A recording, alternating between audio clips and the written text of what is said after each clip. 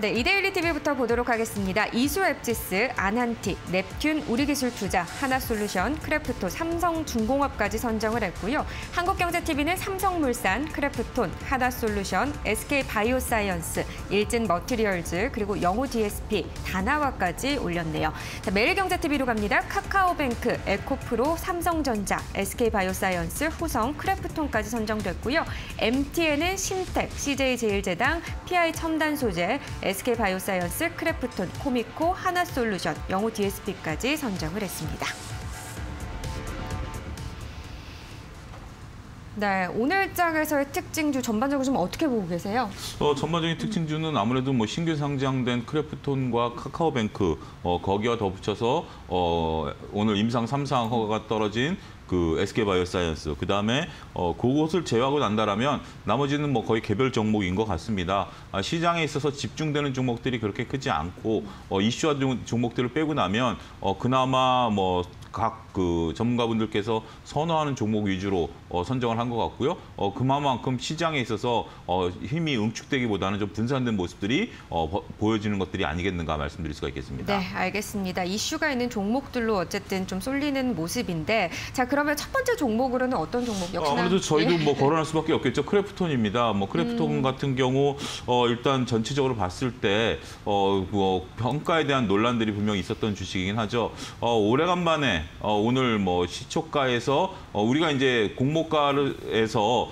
어, 가격을 결정하는 게 밑으로는 10% 위로는 두배까지 올라갈 수 있는 모습들이거든요. 어, 그동안 우리가 따상을 바라보면서 그러니까 따블의 상한가를 바라보는 모습 어, 카카오뱅크 같은 경우 뭐 이틀에 걸쳐서 따상 비스무리한 모습들이 보여지긴 했죠. 하지만 크래프톤은 10%가 빠지면서 기준가가 설정이 됐습니다. 아, 4만 9천, 아, 49만 8천 원에서 어, 44만 원대까지 어, 10%가 떨어지면서 어, 거기서 결정이 됐고 거기서 지금 현재 어, 4% 정도가 더 빠지면서 43만 원대 움직이고 있다라고 보여지죠. 오늘 장중에 등락폭이 상당히 컸 습니다. 이 등락폭의 기준은 44만 원을 기준으로 한 거고요. 공모가를 기준으로 한 것은 아니다. 이렇게 말씀드릴 수가 있겠습니다.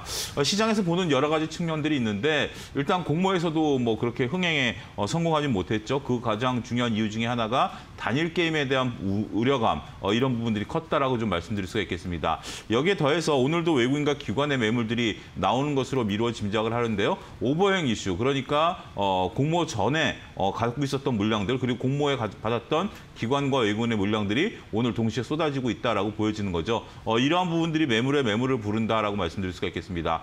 이거는 카카오뱅크와는 다른 모습인데요. 카카오뱅크 같은 경우 상장된 첫날 외국인들의 묻지마 시장가 매수가 들어오면서 어, 가격 형성들을 좀 보여줬고 어, 그게 이제 개인들의 매수세가 이- 다음날 들어왔고 오늘은 차익 매물들이 나오는데 일단 그러한 모습들 보이기 전에 크래프톤 같은 경우는 어, 첫날부터 매물들이 좀 쏟아진다라는 거죠.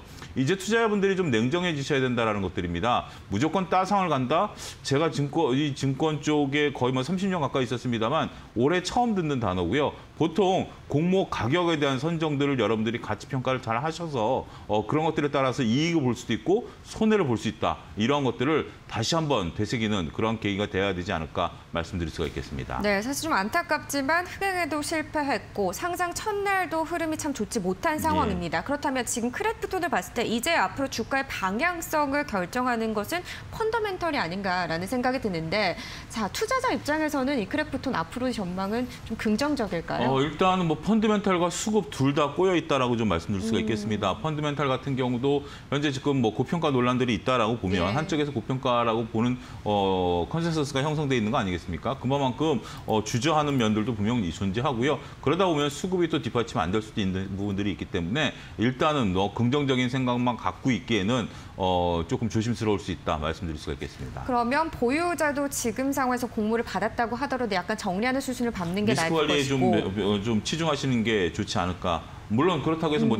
주가의 움직임을 뭐 예측할 수는 없습니다만 음. 그렇죠, 예. 어, 전반적으로 봤을 때는 조금 어, 긍정적인 생각만 갖기에는 어, 무리가 있지 않겠는가 말씀드릴 수가 있겠습니다. 네, 알겠습니다. 크래프톤 이야기 나눠봤고요. 두 번째 종목 넘어가 볼게요. 예, SK 바이오사이언스입니다. SK 바이오사이언스 같은 경우 현재 지금 어, 코로나19 백신 문제가 현재 지금 부각이 되고 있지 않습니까? 예. 어, 이거 위탁 생산을 하고 있는데 어, 이 위탁 생산과 관련된 부분에 있어서 어, 상당히 어, 조금 좋은 평가를 좀 받고 있고 오늘 또 뉴스가 나온 게 어, 자체 백신에 대한 임상 삼상을 시작하라라는 허가를 또 받았어요. 어, 이런 것들이 이제 고무적이다라고 좀 말씀드릴 수가 있겠습니다. 어, 그리고 현재 우리가 지금 얘기가 나오고 있는 게 이러한 백신을 위탁 아직은 이제 삼상은 이제 들어가는 거고요. 위탁 생산하고 있는 부분들이 과연 영업이익률이 높냐라는 부분들이 있는데 생각보다 영업이익률이 좋았어요. 어, 그런 부분들에 대한 높은 영업이익률을 아, 당분간 좀 부과할 수 있다. 우리가 뭐 백신이라든지 어, 이런 것들을 계속 뭐 주기적으로 맞아야 한다라고 제가 알고 있습니다. 어, 그렇기 때문에 그렇게 된다라면 백신을 계속해서 생산해내고 어, 이러한 부분들에 대한 위탁 생산이 됐던 자체 생산이 됐던 영업이익률이 따라온다라는 것은 나름대로 긍정적이다라고 좀 말씀드릴 수가 있겠습니다. 아, 더군다나 이제 차트가 좀 솟아왔죠. 물론 오늘 차트가 좀 부담스러운 것은 사실입니다. 아, 그렇긴 합니다만 어, 차트가 우상향하는 추세를 좀 보이고 있다라는 것은 어, 상당히 고무적이다라고 좀 말씀드릴 수가 있겠고 그러한 부분들을 감안하게 된다라면 우리가 오늘 또 시장에서 강한 게 삼성바이오로직스 아니겠습니까? 아, 삼성바이오로직스와 더불어서 SK바이오사이언스는 서로 양대 어, 축이 될 가능성이 있다라고 보는 거죠. 어, 높은 기술력을 갖고 있는 SK바이오사이언스, 높은 생산력을 갖고 있는 어, 그 삼성 바이오로직스 이 두 회사가 어, 제약 바이오 섹터들을 좀 이끌 가능성이 있고요. 물론 어, 이들이 모든 제약 바이오 섹터들을 이끌지는 않을 것입니다. 결국 제약 바이오 섹터들도 이익이 나는 이런 긍정적인 어, 주식들 위주로 해서 움직일 가능성이 있지 않겠는가 말씀드릴 수가 있겠습니다. 네, 사실 전 세계적으로 지금 백신 부족 현상이 발생하고 이러한 상황 속에서 과연 SK바이오사이언스가 잘 이게 이루어진다면 내년 상반기에 국산 첫 또 백신이 탄생할 수도 이런 이런 그렇죠. 좀 기대감이 있는 됐으면 거잖아요. 어, 좋겠다 이렇게 좀 말씀을 좀 드릴 수가 있겠습니다. 그러니까요. 전또 예. 기대를 해보도록 하고요. 사실 SK바이오사이언스도 우리가 IPO 얘기를 앞서 한 것처럼 네. 상장을 하고 나서 사실 조금 힘든 종목 중에 하나였잖아요. 이 종목도요. 어 그러니까 이제 이, 그 정석대로 본다라면 음. 지금 우리가 아, 또 하나의 소테마가 형성되고 있는 게 상반기 때 상장된 종목들의 시세가 아, 지금 제대로 나오고 있다라는 거예요. 그러니까 음.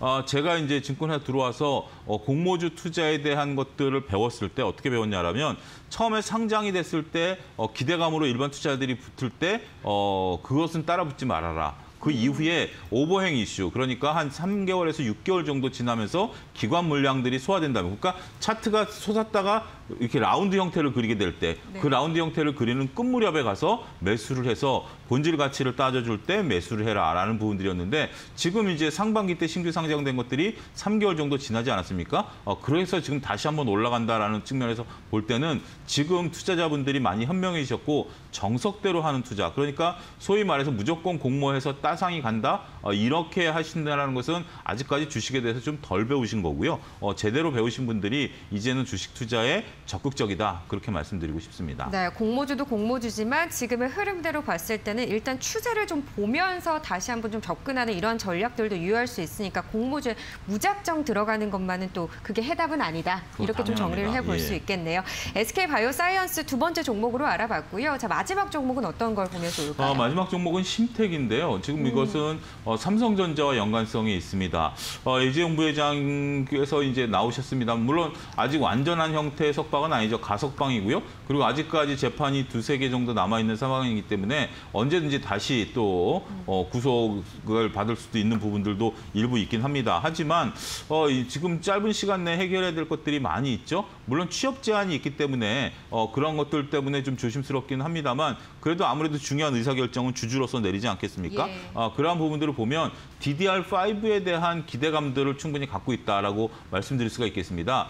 현재 지금 우리가 쓰고 있는 윈도우 체계가 이제 11로 바뀌죠, 조만간. 어, 그렇게 된다라면 어, 이게 뭐 성능이라든지 이런 것들을 떠받칠 수 있는 어, D램 부분들에 있어서의 어, 성능 개선이 필요하고요. 그렇게 된다면 DDR5로 진행이 돼야 되는 수준인데 과거 DDR4에서 DDR3에서 DDR4로 진행이 될 때 심테크와 같은 어, 반도체 부품 업체들이 상당히 어, 예. 수익도 좋았고 이익도 어, 주가도 어, 상당히 좋게 흘러갔었던 어, 과거 경험들이 있습니다. 이러한 것들 때문에 물론 주가가 선 반영된 면도 어, 일부 존재하긴 합니다만 어찌 됐던 다시 한번 우리가 DDR5 시대를 맞이해서 어, 반도체 부품주들이라든지 이런 것들에 대한 것들 당장 수혜를 볼 가능성이 있다라고 보여지는 거죠. 물론 수혜가 2, 3년에 걸쳐서 나눠서 이루어지죠. 지금 당장 내일부터 DDR5를 써라 이건 아니죠. 쓰다 보니 어, 그 윈도우 11이 어, 기존 체제에서는 조금 어려워지다 보니까 새로운 체계가 아, 이 진행이 되긴 하겠습니다만 주식이라는 게 현재로서는 투자할 만한